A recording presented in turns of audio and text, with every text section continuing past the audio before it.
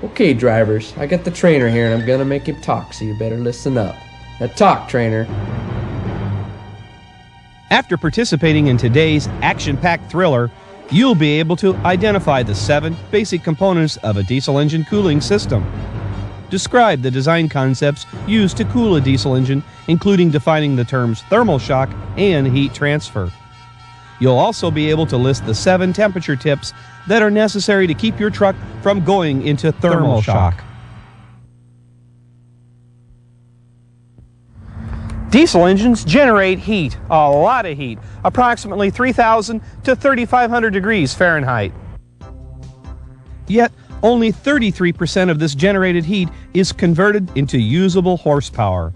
Roughly 30% is discharged out the exhaust system, while another 30% is dissipated through the cooling system, leaving any remaining heat to radiate off the engine.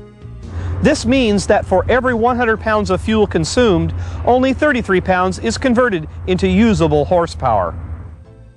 A typical diesel engine cooling system consists of seven basic components the radiator, a liquid coolant, water pump, engine oil cooler, thermostat, temperature gauge, which is plumbed near the thermostat, and the fan.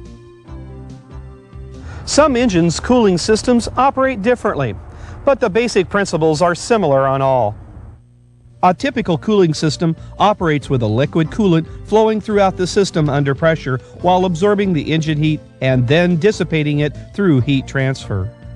The coolant flow begins as the water pump draws the coolant from the lower portion of the radiator up through the water pump, and then the coolant circulates around the cylinder liners and into the heads. It completes its cycle by passing through the thermostat.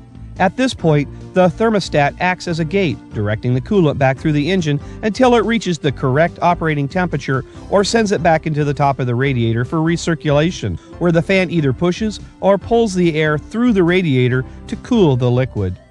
It has